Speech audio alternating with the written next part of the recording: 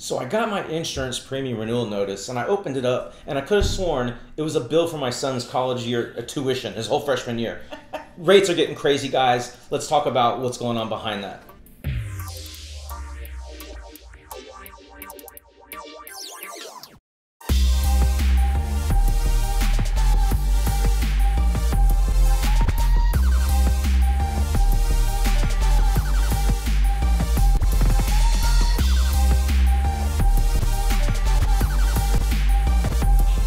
Everyone, I'm Amber Moore, And I'm Bret Wallace. and we're your, Your Houston, Houston local, local guide. guide. I know, so it's a really exciting topic today. It's one that's very relevant because I also just got my home insurance premium notice. Scary. You own a home? I think we might be sitting in it. But in any case, before we get into it, go ahead, subscribe to our channel, hit that notification bell. We do release a new video every single week. You're not going to want to miss this, are you? Um, and while you're down below, don't forget to get our email address and our phone number. Call, text us anytime. We'd love to hear from you. And you're probably going to have some questions after this video, right? Yeah, I know. I, I know. I will. Oh, yeah. Sometimes we're like, well, thank God we made this video so we can go back and watch our own.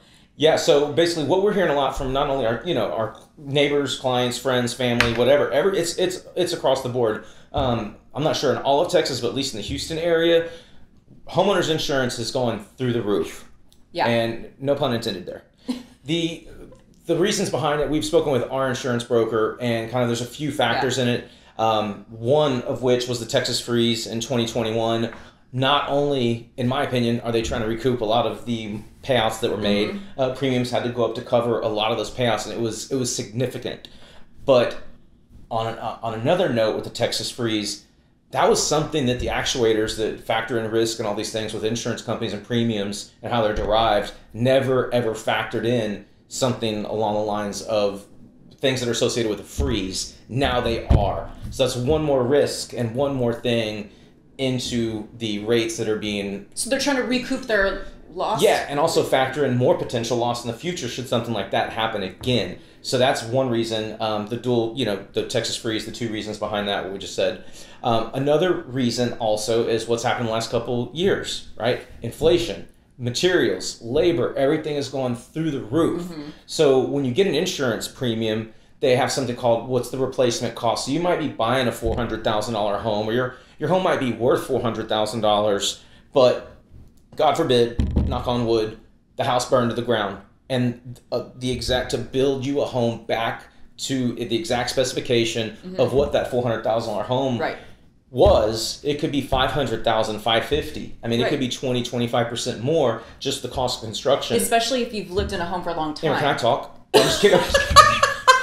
I, like I, I was like, what are you going to save me? Um, yeah, so just the cost of materials. Anyway, Yeah. but yeah, we're sitting in my home built in 1994. So I got a great deal on this when I bought it almost 10 years ago, and it would be double now to build the same Yeah, because home. you bought it from a great agent. I did.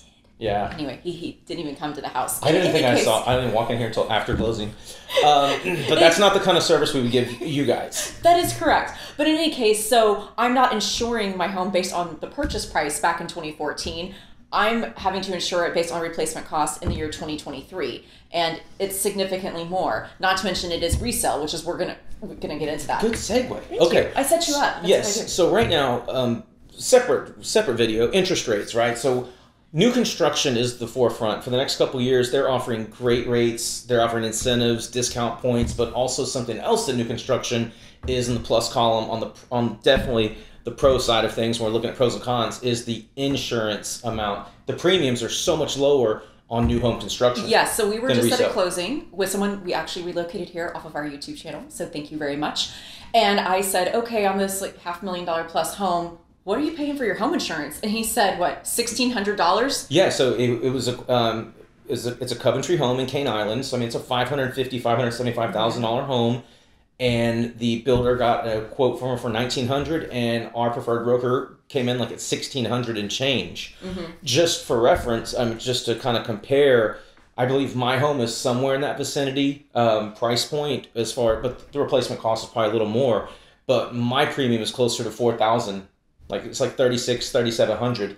Well, that's what I was going to say. And my home was built in 1994 as well. Ours is, yeah, the same year built. So I replaced my roof last year, got new windows. We have a relatively new AC. So I thought I was going to just turned off? free. I, I thought I was going to be like oh my gosh, making some extra money. Um, I have four kids, and I got my home insurance premium renewal, and it was forty one hundred dollars this year. And of course, I called our insurance broker and I went, "Hey, I did all this stuff to the house. Obviously, we wanted to make it more comfortable, more energy efficient." He goes, "Yeah, you better be glad you did all that. It would have been forty seven hundred dollars for the year." like what is going on here and so then that's where we started learning more about this topic because it, it's affecting so many people Yeah, so definitely not only uh, the zip code or the location, uh, Right. the likelihood of things uh, happening to the home, but definitely I always like to say the older the home, typically the premium is going to be higher with the older the home. Especially if you're dealing, sometimes they do. A lot of brokers do um, intake, and they do ask like, what kind of pipe? Uh, what what is the water? Is it PEX? Is it copper? Is it galvanized? Like, or if you know if you have aluminum wiring, electrical instead of Romex or copper wiring, uh, the breaker box, like what age of the roof? That's a, a yes. We're And gonna also- another good segue. well we both have pools too we're like the worst people to insure we live in an older home with a pool don't so take don't take home advice from either one of us. so we're high liability here is my point Yeah. So um, a couple points we want to make with with when it comes to roofs. I've had I don't know a string of listings where they're Mm-hmm. all 14, 15, and 16 year old roofs. and buyers don't like that do they Well, it's not the buyers don't like it; it's the insurance premiums that they get quoted. It's like uh, they, they it's Right. double because the insurance company knows what's coming down the pike. They're going to Mm-hmm. be asked next time the wind blows four miles an hour and and blows my toupee off. Um, that they're going to be asked to That'll be replace the another roof. video. Yeah, yeah, yeah. I have to grow it out a little bit. Um, the that they'll be asked to replace the roof, and you know it's a two percent deductible, three percent deductible, whatever. But insurance companies know that, and if they're going to give you a policy, they might not include the roof, and it'll just be a cash out, and you're still going to get stung with a really high premium. So my suggestion, and I have a great roofer, I'm sure Amber does as well on the north side. Um, get someone out there that would meet with an adjuster. Ask for an adjuster to be sent out from your insurance company. That's what you pay the premiums for, and you never know. You might get a new roof put on if they can claim it to hail damage or high winds in the last six months. That is a huge value add if we can go on the market with a one month old roof or a, a roof that's only a few months old or a year or two. And anything's better than 14, 15, or 16 years. Absolutely. That will be the first and biggest thing brought up during inspections. And it's just problematic. So if you can get a roof put on for 2% or your deductible or whatever your deductible is, it, it's worth talking with the roofer, Sure. calling us, talking with us about it, and uh, just going on the market with a brand new roof. it's going to be way more appealing to buyers they always ask about roofs and acs Yep. just the top two Yep. And also, now we're talking about homeowners insurance and thinking about selling your home. Don't ever cancel your insurance until after the closing. So, Correct. so if you're scheduled to close on a Friday, just go ahead and plan on canceling it the week after in case the closing gets pushed or whatever. You never, ever, ever, ever want a chance of your home yeah being uncovered for five minutes. Um, one of the downsides, well, two downsides, something happens to the home while it's uncovered. You're, you, you know, that's not good. Secondly, if your lien holder, if you have a mortgage and your lien holder finds out that there's no insurance, if there's any gap, they could do something what's called force placed insurance. Doesn't and they're, sound good. They're not going to be shopping for a good deal for you. They're actually going to try to stick it to you as kind of almost as a punitive measure because you let their asset go uncovered. So force placed insurance not it's not fun and it's not super easy to get out of from what I hear. Never been a part of it, thank thank heavens, or any of my clients. Um, but just always make sure that you have existing coverage on your properties. as painful as it is and expensive as it is unfortunately right now it's the necessary evil. And even for cash buyers right? I had a cash buyer thinking well i own it outright you know i don't have a lien. I said right but what happens? God forbid he said it burns to the ground right? Your asset is gone and you have land at that point. So home insurance is the necessary evil. You and, need it. And with premiums going up so much, when you do qualify for a home loan and you, you close and fund the deal, they if you're putting less than twenty percent down, they mandate escrows uh, accounts to be set up. So